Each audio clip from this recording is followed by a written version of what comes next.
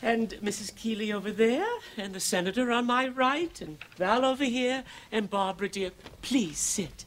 You are the most gracious hostess. Thank you so much. Oh, I'm having such a wonderful time.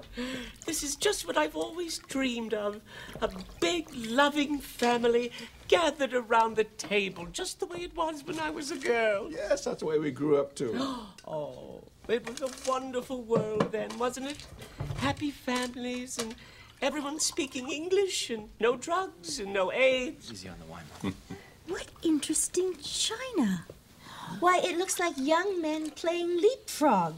Is it Greek? Oh! I, I, I have no idea. I, I've never seen these bowls before. Really? Barbara, get me my glasses, will you, dear? They're in my purse by the chair. Where are my glasses?